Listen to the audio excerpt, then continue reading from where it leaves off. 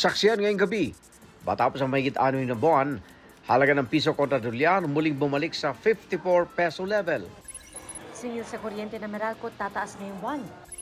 Pag-angkat ng mahigit 20,000 metriko tonelada ng pula at puting sibuyas, inaprubahan ni Paulong Bongbong Marcos para mapababa ang presyo.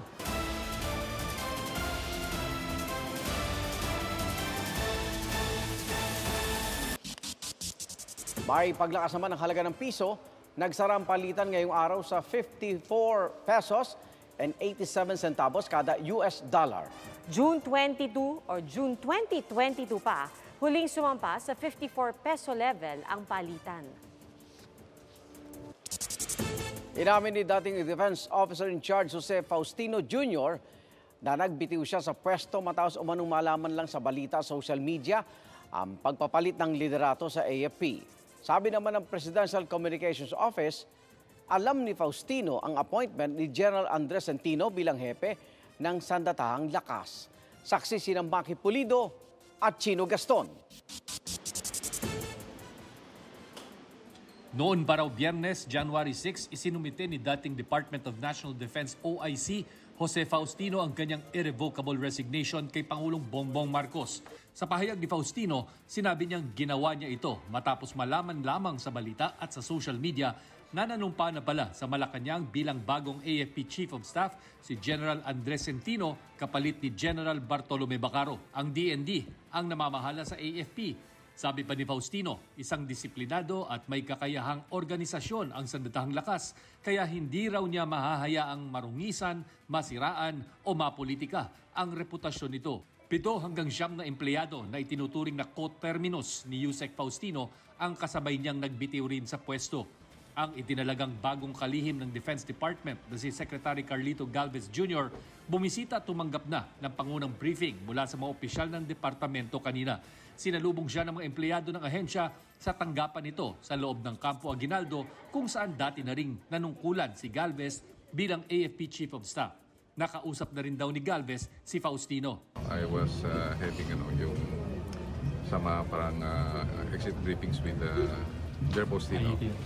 Jer Postino. And uh, the President has high, high regard to because uh, he's a principled man. And I really ap- appreciated very much yung yung uh, very uh, gentleman and officer like na ginawa ni Jer Postino. Hindi naman daw lingid kay Galvez ang kontrobersyang dulot ng mga biglang appointments, hindi lamang sa Defense Department kundi pati na sa pamunuan ng AFP. I'm uh, trying to, no, uh, to ano pa yung uh, assess kung ano yung natin. Uh, alam niyo naman yung armed forces, very, very professional. Basta nag-decide ng presidente, uh, susunod yan.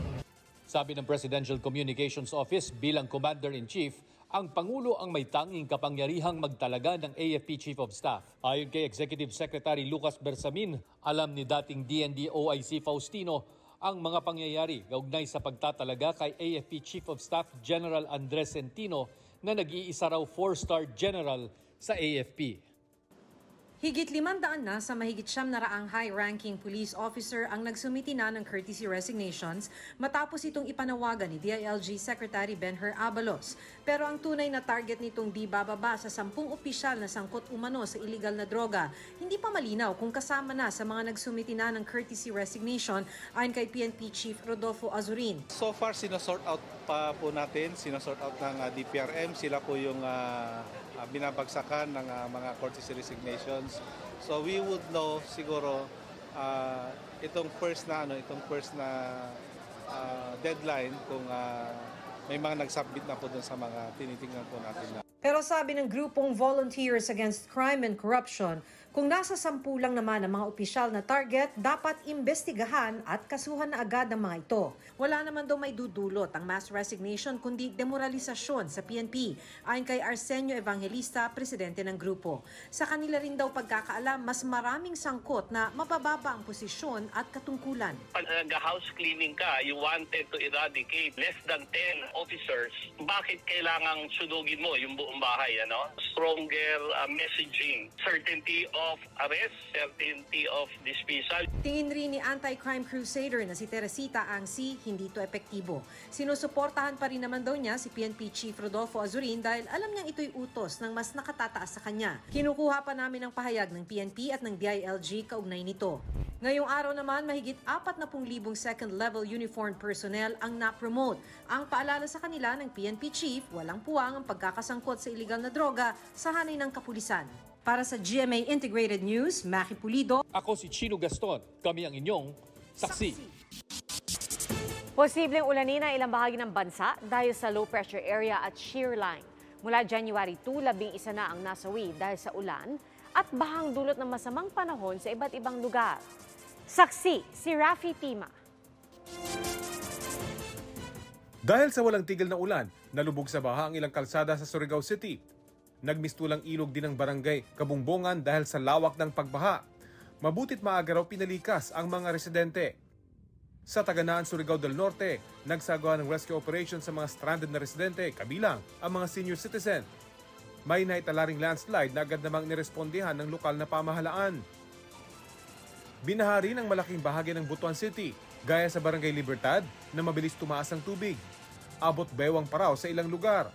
Agad ni-rescue at dinala sa evacuation center ang mga apektadong residente. OMG! Sa sentro ng lungsod, bahagyang bumagal ang daloy ng trapiko dahil sa baha.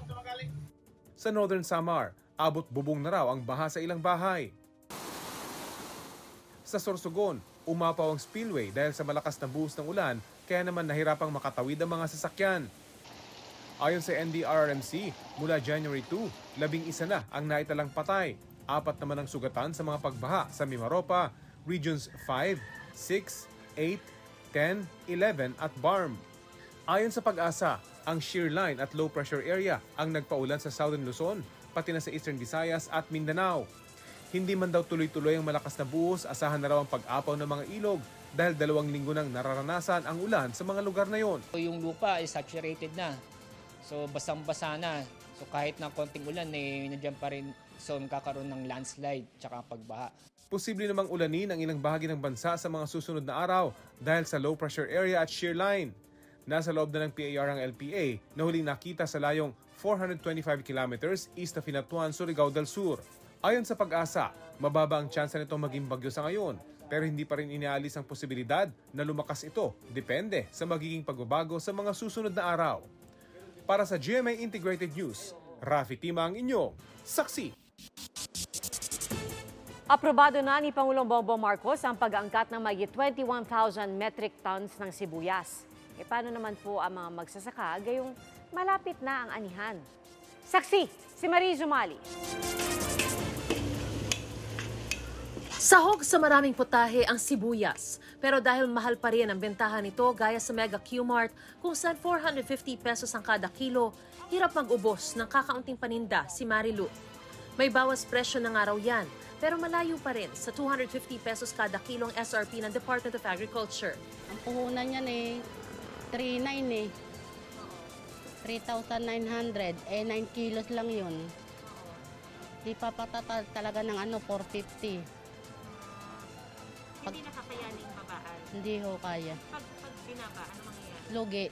Para kontrahin ang mataas na presyo ng sibuyas, inaprubahan na ni Pangulong Bongbong Marcos ang pag-aangkat na mahigit 21,000 metric tons ng pula at puting sibuyas. 50% ng maaangkat ng mga sibuyas ay dadalhin sa Luzon at 25% naman ang ipamamahagi sa Visayas at Mindanao na inaasaha magpapababa sa presyo ng sibuyas. Ito ay dapat makarating sa bansa ng hindi lalagpas sa January 27 para hindi raw sumabay sa panahon ng anihan ng sibuyas ng mga magsasaka natin sa Pebrero. From now until the 27th, ang tinitingnan natin bababa ang presyo.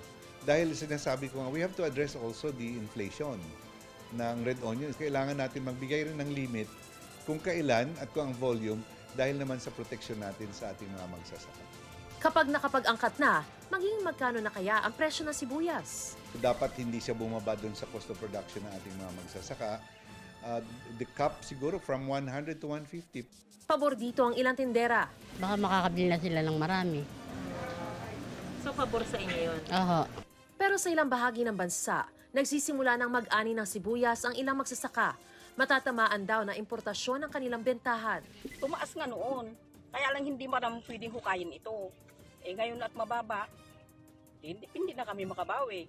Para sa ilang magsasaka, hindi raw pag-aangkat ang solusyon kapag nagkukulang ang supply. Mas pagtuunan daw dapat ng pansin ang pangangailangan ng mga magsasaka.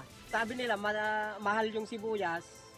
Hindi naman nila iniisip yung mahal na ah, gamot at saka yung abono. Iimbestigahan na ng Office of the Ombudsman at pagpapaliwanagin ang mga opisyal na Department of Agriculture at Food Terminal Incorporated o FTI sa pagkuha ng mga sibuyas na nagkakahalaga ng 537 pesos kada kilo mula sa isang kooperatiba. Bukas naman daw ang DA sa investigasyon. Sinisika pa naming makuha ang pahayag ng FTI. Para sa GMA Integrated News, Mariz Umali ang inyong saksi. Apektado na ng malamig na panahon ang presyo at laki na ibinebentang bangus sa Dagupan City. At ayon sa mga nagtitinda, posibleng tumaas ang presyo sa mga susunod na araw. Saksi si Jasmine Gabriel Galban ng GMA Regional TV 1 North Central Luzon. Ilang araw nang nararanasan ang mataas na presyo ng bangus sa Dagupan City na tinaguri ang Bangus Capital of the Philippines. Sa Magsaysay Fish Market, pumapalo na sa 150 hanggang 160 pesos ang kada kilo ng malalaking bangus. Nasa 110 pesos kada kilo naman ang maliliit. Bukod sa mataas na presyo, apektado rin ang laki ng mga isang dinadala sa palengke. Karamihan sa mga ibinibenta ngayon, halos 6 centimeters lang ang laki, malayong malayo sa 15 centimeters na standard na laki ng bangus. Tapos talaga ganun po itong January. Kasi dahil sa lamig malamig ng tubig, hindi siya lumalaki. Kaya inaharvest na lang nila kasi mag-aagsa lang sila ng feeds. Tapos yung feeds niya malalong tumataas. Paliwanag ng mga bangus grower, maliliit ang mga bangus na nahaharvest ngayon dahil sa malamig na panahon. Ito yung problema natin. Kasi yung metabolism ng mga isda, paggamit ng mga kinain ng isda ay hindi maayos, hindi normal. Kaya tuwing malamig ang panahon, i-expect natin na yung paglaki ng isda ay hindi normal kaysa kung nasa tag-araw tayo o mainit na panahon. Ayon sa mga bangus vendor, hanggang malamig ang panahon, mananatiling mahal ang bangus at posible pa raw tumaas ang presyo hanggang sa mga susunod na araw. Para sa GMA Regional TV 1 North Central Luzon at GMA Integrated News, Jasmine Gabriel Galban, ang inyong saksi. Baka kapuso, may ihigpit pa ba ang inyong sinturon? May dagdag singil ang Meralco sa January bill ng kanilang mga customer. Saksi si Bam Alegre. Tinitiis ni Tata Osing ang init kahit na maraming dryer at washing machine sa kanilang laundry shop sa Quezon City. Hindi na kasi nila binubuksan ng aircon. Ito ang diskarte nila para makabawas sa bill ng kuryente. Kaya exhaust fan at electric fan na lang ang inaasahan niya. Pero ngayon nakaamba na naman ng dagdag singil ng Meralco. Hindi na alam ni Tata kung paano pa magtitipid. Yung kuryente po, malakas po kumain yung ano, mga dryer, mga washing. Mas, maging mas mahirap pa po. Kasi tumaas po yung kuryente. Ang salon manager na si Almira de la Peña, napapataas na lang ang kilay, lalo tataas na naman ang kuryente. Wala kasi silang ligtas, lahat ng kilos sa kanilang salon kailangan ng kuryente. Mapa-blower hanggang sa aircon at ilaw. Nakaligtas ang kanilang negosyo sa pandemic, kaya ngayon pa lang sila nakakabawi sana. Malaking dagok para sa kanila oras na tumaas na naman ang singil sa kuryente. Ang kita namin, mapupunta lang doon. Siyempre, hindi naman ibig sabihin, hindi naman araw-araw, hindi naman palagi mataas yung, malaki yung sales namin. So, pag nagkataon na tumaas talaga yung kuryente, maapektuhan talaga yung ano, yung business na. Ayon sa Meralco, 62 centavos per kilowatt hour ang dagdag singil sa kuryente ngayong buwan. Katumbas yan ng 125 pesos na dagdag bayarin sa karaniwang bahay na kumukonsumo ng 200 kilowatt hour kada buwan. May mga paraan naman daw para mapababa ang buwan ng bayarin sa kuryente, kabilang na ang tamang paggamit ng mga household appliances tulad na lang sa refrigerator. Sinasagad yung laman ng refrigerator. Uh, nagdo-double time kasi yung yung refrigerator pag ganyan eh. So, allow it to breathe, di ba? ito, ito isa pa, uh, regular maintenance at cleaning ng mga air conditioner filters. Isa sa dahilan ng rate increase ang kumukonting supply ng malampaya natural gas, kaya gumagamit ng mas mahal na gas ang ilang power producer. it put pressure on the uh, generation charge to go up.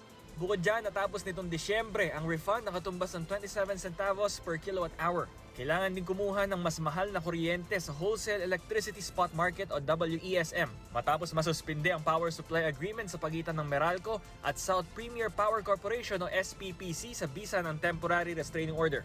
Pinaghahandaan na rin ng Meralco ang babala ng Department of Energy na sa posibleng pagnipis ng reserbang supply ng kuryente sa Luzon pagdating ng tag-init.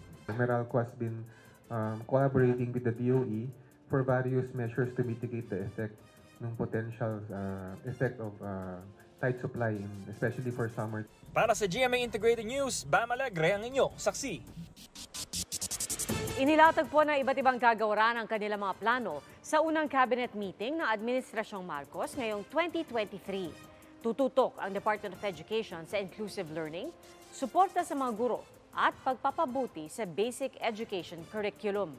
Ayon kay Migrant Worker Secretary Susan Ople, kabilang sa mga plano nila ang mag-hire ng 1,000 kawani ng DMW at pataisin ang bilang ng mga ipinadadalang manggagawang Pinoy sa ibang bansa ngayong taon.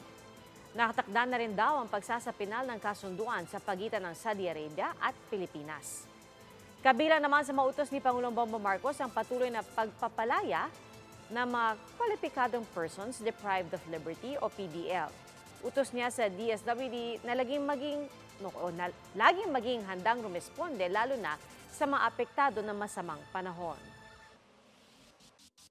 Before the end of the uh, meeting, the president um, wanted all the department heads uh, to remember that uh, to know what each other is doing and to maximize the synergy and in order to work together to achieve the eight-point socioeconomic agenda. Dahil sa aberyang na merwisyo, sa libu-libong pasahero noong New Year's Day, nanawagan ng isang kongresista na mag-leave of absence na ang ilang opisyal ng Civil Aviation Authority of the Philippines habang gumugulong ang investigasyon. Ang sagot ng pinuno ng kaap sa pagsaksi ni Tina Panganiban Perez. Mahigit apat na raang canceled flights. Nasa 65,000 pasaherong apektado at tinatayang 100 milyong pisong lugi ng mga airline.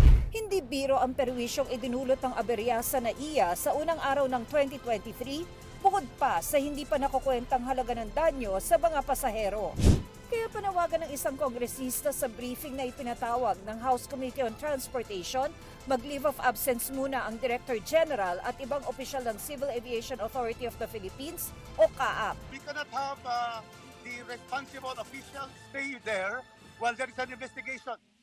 We don't want a whitewash. Bukas daw riyan ng CAAP Director General kung kailangan talaga. Pero sa ngayon, I don't think uh, I need to go on the leave of absence as of, as of this time.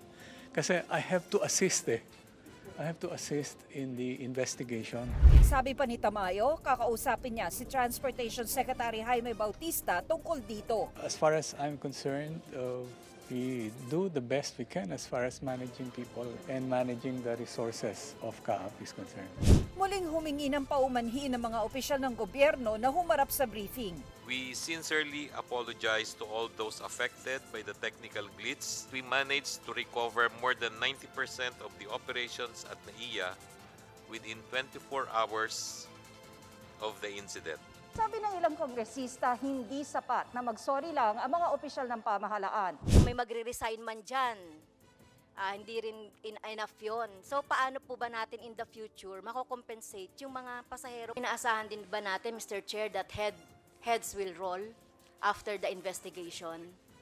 If, if there will be anyone negligent, ma'am, uh, definitely At kaugnay ng kompensasyon, nakadepende raw ito kung lalabas sa investigasyon na ang nangyari ay force majeure o act of God o kung may nangyaring kapabayaan. kung wala pong makikitang uh, negligence or bad faith or breach of duty on the part of the uh, responsible officers, ito po ay magiging force majeure din pagdating sa gobyerno. It cannot be force majeure. This is not an act of God. This is, Mr. Chairman, an act of men, men of incompetence and men of gross negligence. Ayon sa kaap, ang ugat ng aberya At around 9.49 a.m., 1 January 2023, the UPS or uninterruptible power supply de-energized the CNS ATM equipment as it detected the flaw.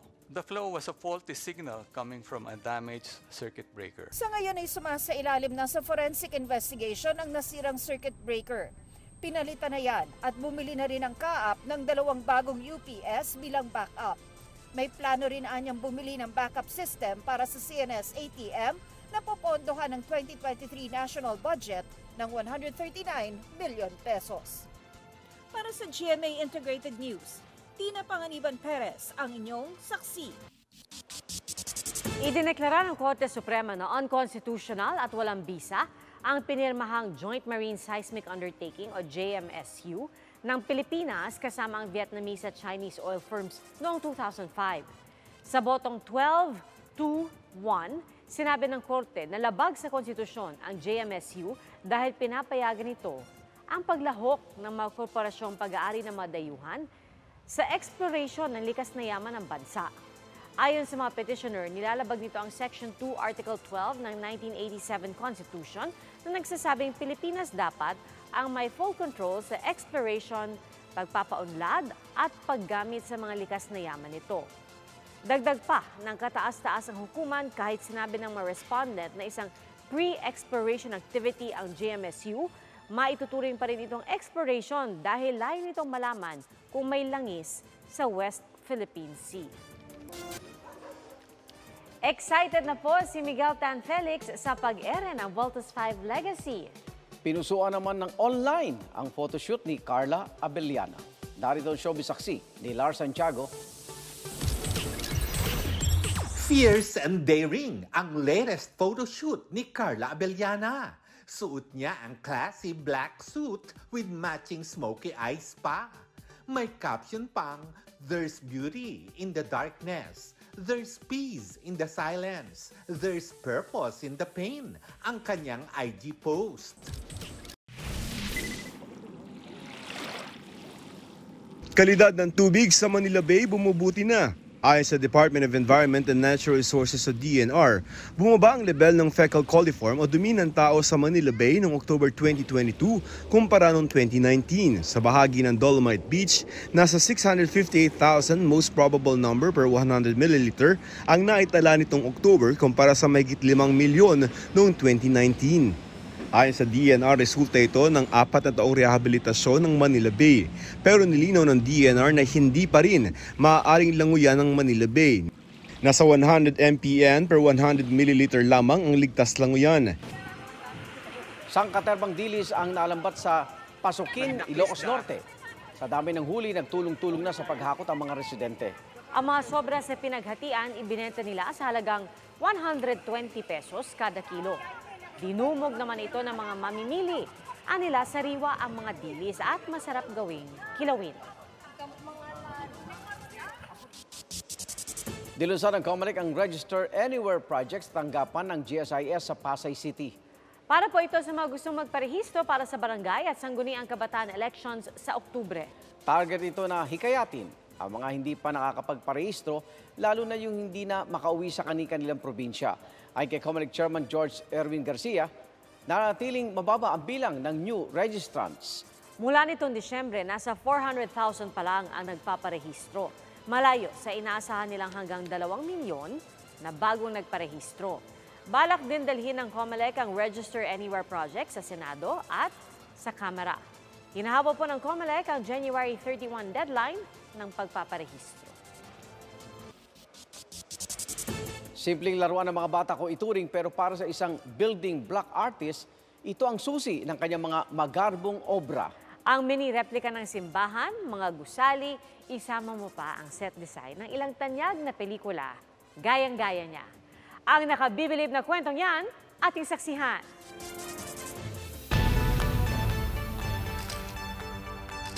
Mula sa maliliit at simpleng obra gaya ng mga bulaklak, landscapes at hayop, hanggang sa malalaki at magagarbong setup ng korteng simbahan at iba't ibang building. Angat ang pagkamalikhain ng 60-year-old building block artist na si Amando Pinlac. Nagagaya pati set designs ng ilang kilalang pelikula at tanyag na space opera film series. Ang kanyang hilig nagsimula raw dahil sa kanyang mga anak. Pero nang di makontento sa mga nabibili niyang set, natuto siyang mag-mix and match at bumuo ng mga sariling bersyon. I started building, uh, you know, ships that Lego never did in Star Wars universe and built my own. Nakabase na sa New Jersey, USA ang pamilya ni Amando. Pero ang isa sa tampok niya obra, mini version ng simbahan sa kanyang hometown na Angeles City, Pampanga. Since my wife and I are both Angeleñas, so I promised her at some point in, you know, my career, I'm gonna build the church. Nakamamangha ang mga detalyeng kuha ang orihinal na arkitektura ng simbahan. Pitong taon ang iginugol niya para mabuo ito. Arjan Iga ng mga balitang ating sinaksiyan. Ako naman Arnold Glavio. Ito ang inyong Liga ng Katotohanan. Ako po si Pia Arcangel. Hanggang bukas para sa Pilipino. Sama-sama tayong magiging saksi. Mga kapuso, saksihan ang unang pasok ng mga balita. Maaaring mapanood ang saksi at ang iba pang GMA Newscast sa youtube.com slash GMA News. I-click lang ang subscribe button. At sa mga kapuso abroad, maaari po kaming masubaybayan sa GMA Pinoy TV at www.gmanews.tv.